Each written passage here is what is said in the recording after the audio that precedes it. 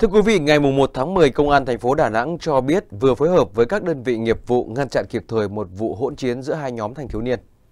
Trước đó thì công an thành phố nắm thông tin tối 30 tháng 9 sẽ có hai nhóm đối tượng hẹn nhau giải quyết mâu thuẫn tại khu vực cầu Thuận Phước và khu vực công viên đường Mai Am, phường Thuận Phước, quận Hải Châu nên đã bố trí nhiều tổ công tác tuần tra theo dõi. Phát hiện công an, hai người trong nhóm này đã quay đầu xe tông thẳng vào lực lượng chức năng rồi phóng xe ngược chiều để chạy trốn. Nhận định hành vi của những người này có thể gây nguy hiểm cho những người đi đường nên cảnh sát đã nổ nhiều phát súng để chấn áp. Không ai bị thương do nổ súng, hai thanh niên trên đã phóng xe bỏ chạy. Trong đêm thì công an thành phố Đà Nẵng đã huy động hàng chục cán bộ chiến sĩ truy tìm hai nhóm này. Đến sáng nay cảnh sát đã bắt được 9 người liên quan. Những người bị bắt thừa nhận hai nhóm thanh niên có mâu thuẫn nên mang theo hung khí đến công viên ở đường Mai Am, phường Thuận Phước, quận Hải Châu để giải quyết. Khi họ đến đường Nguyễn Tất Thành thì bị cảnh sát truy đuổi. Hiện lực lượng chức năng đang tiếp tục truy tìm những người liên quan. Ngày 30 tháng 9, đại diện Cục Đăng kiểm Việt Nam cho biết Bộ Giao thông Vận tải vừa kiến nghị Bộ Tài chính miễn lệ phí cấp giấy chứng nhận kiểm định đối với phương tiện cơ giới đi đăng kiểm trong thời gian đến hết năm 2021 nhằm hỗ trợ doanh nghiệp bị ảnh hưởng của dịch COVID-19. Hiện lệ phí cấp giấy chứng nhận đăng kiểm ở mức 100.000 đồng một xe con và 50.000 đồng một xe tải. Theo dữ liệu thu phí kiểm định gần đây, Cục Đăng kiểm Việt Nam ước tính tổng số thu lệ phí cấp giấy chứng nhận kiểm định trong 4 tháng cuối năm 2021 là khoảng 101 tỷ đồng. Phần thu này được các trung tâm đăng kiểm nộp về ngân sách các địa phương. Cục Đăng kiểm Việt Nam cho biết Bộ Giao thông Vận tải vừa đề nghị Bộ Tài chính miễn lệ phí cấp giấy chứng nhận kiểm định đối với phương tiện cơ giới đi đăng kiểm trong thời gian đến hết năm 2021. Hiện đề xuất đang được Bộ Tài chính xem xét. Nếu được chấp thuận, Bộ Tài chính sẽ ban hành thông tư mới có thể thực hiện miễn thu lệ phí kiểm định cho phương tiện Cùng với đề xuất trên, Bộ Giao thông Vận tải cũng đề nghị Bộ Tài chính chủ động xem xét việc kéo dài hơn thời gian giảm phí sử dụng đường bộ đối với xe ô tô kinh doanh vận tải, 30% đối với xe khách, 10% với xe tải, hiện có hiệu lực đến 31 tháng 12 năm 2021.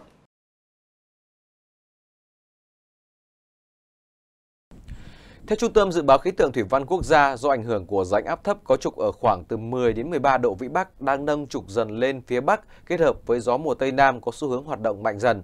Từ ngày 30 tháng 9 đến mùng 2 tháng 10, ở Nam Trung Bộ, Tây Nguyên và Nam Bộ có mưa rông, có nơi mưa to đến rất to, nguy cơ cao xảy ra lũ quét, sạt lở đất ở khu vực vùng núi và ngập úng cục bộ tại các vùng trũng thấp ven sông. Dự báo ở khu vực Nam Trung Bộ, Tây Nguyên và Nam Bộ, từ ngày 30 tháng 9 đến mùng 2 tháng 10 có mưa rào và rông. Mưa rông tập trung vào chiều và tối. Cục bộ có mưa to đến rất to với lượng mưa từ 30 đến 70 mm trong vòng 24 giờ, có nơi trên 100 mm. Trong mưa rông có khả năng xảy ra lốc xét, mưa đá và gió giật mạnh.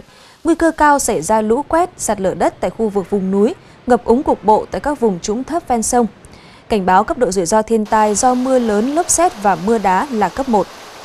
Ngoài ra, do ảnh hưởng của hội tụ gió lên đến mực 3.000m hình thành trên khu vực vùng núi Bắc Bộ, từ ngày 30 tháng 9 đến mùng 2 tháng 10, ở vùng núi Bắc Bộ có mưa rào và rông rải rác. Cục bộ có mưa vừa mưa to với lượng mưa từ 20 đến 40 mm trong vòng 24 giờ, có nơi trên 70 mm. Thưa quý vị và các bạn, việc học online là phương án tạm thời trong thời điểm dịch bệnh hoành hoành nhằm bảo đảm học sinh vẫn có thể khai giảng đúng thời điểm, không tạm hoãn việc học quá lâu và vẫn tiếp thu được những kiến thức cần thiết của năm học mới. Tuy nhiên, sau một thời gian việc học online được áp dụng trên toàn quốc, vẫn còn rất nhiều vấn đề đang là nỗi lo của không ít phụ huynh và học sinh. Những thông tin vừa rồi đã khép lại bản tin của chúng tôi ngày hôm nay. Cảm ơn quý vị đã quan tâm theo dõi.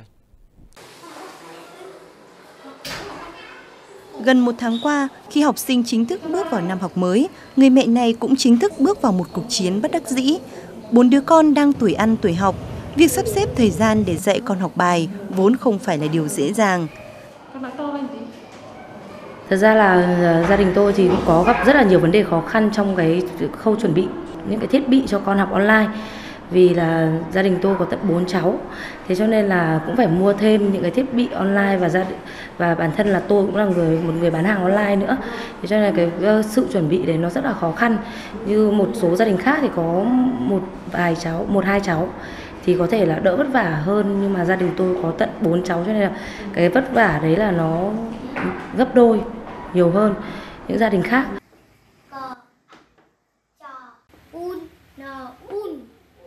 Để đồng hành cùng con học online tại nhà, không ít phụ huynh đã phải đóng vai trò người thầy trong việc dạy con cái chữ.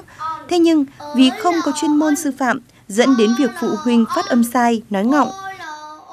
Các cô giáo sẽ là người cầm tay chỉ việc uốn nắn các con từng nét chữ một cũng như hướng dẫn các con đọc À, tuy nhiên thì với cái việc học Zoom như hiện nay ấy, thì nó có cái sự hạn chế rất là nhiều đối với việc tương tác giữa cô và trò um, phụ huynh gần như là phải đồng hành với con từ khi mà các con ngồi học online trên máy tính trên điện thoại đấy. Ừ, cho đến việc các con phải ôn luyện lại các bài giảng mà cô vừa dạy online xong này xong là làm bài tập về nhà. Mà dĩ nhiên thì bản thân phụ huynh chúng tôi thì nó không có cái kỹ năng sư phạm để mà làm sao truyền đạt hoặc là có cách dạy nó phù hợp với các con để các con nó tiếp thu được hiệu quả tốt nhất.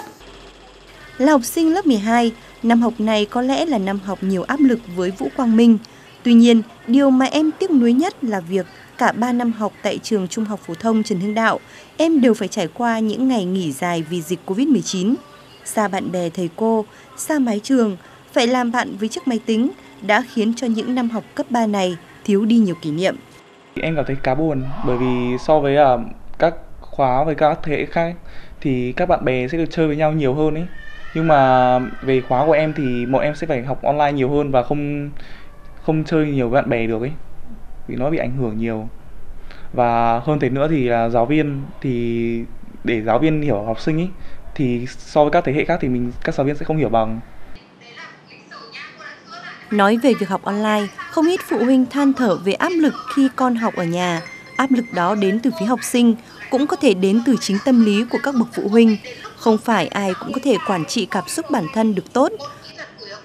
Con học ở 3 đến 2 tiếng và cô thì cũng phải nói nhiều lên, nó con rất là đau đầu con mong muốn hết dịch để được đi học trở lại. Con thích học ở trường ạ. Vì ờ, ở trường thì ờ, ta có thể vui chơi cùng với các bạn. Các con ở nhà, các con cũng bị áp lực với tâm lý, cũng bị ức chế. Và các phụ, chính vì cái câu chuyện đó thì là phụ huynh đương nhiên là dẫn đến cái chuyện là là cũng bị áp lực rất là nhiều. Vì rồi từ cái việc mà dạy con này, dặn con là đi, đến đi học đúng giờ này, rồi ăn mặc rồi ngồi nghiêm túc để ờ, nghe cô giáo giảng dạy nó cũng là cái áp lực từ phụ huynh đến các con. Các con ngồi một chỗ ngồi im cũng rất là khó. Thành ra cái câu chuyện là là là phụ huynh ấy, thì tôi cũng thấy rằng là cái sự áp lực của mình rất là nhiều.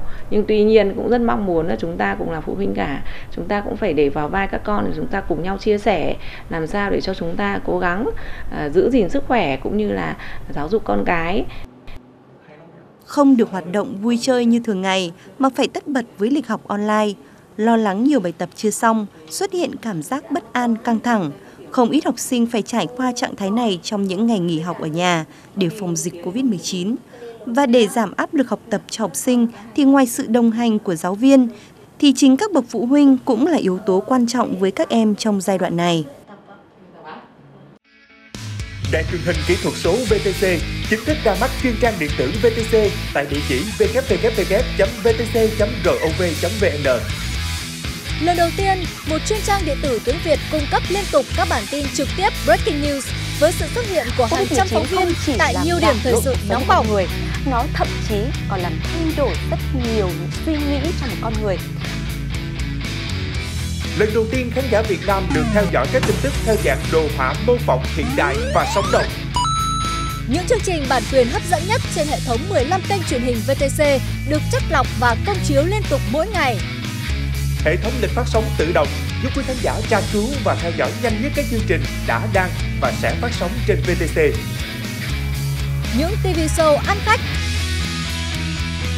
Những clip hấp dẫn về sức khỏe và ẩm thực mỗi ngày Những bộ phim đặc sắc của các nền điện ảnh hàng đầu thế giới Và không thể thiếu là những nội dung độc quyền chỉ dành riêng cho khán giả online. Đó là âm nhạc, là series các chương trình podcast sách nói truyện hay. Thành trung của bên trong đã sẵn sàng. Và là cả một thế giới thể thao sống động. Thế giới showbiz đầy sắc màu. Hãy truy cập www.vtc.gov.vn để theo dõi các chương trình đặc sắc nhất của VTC ngay hôm nay.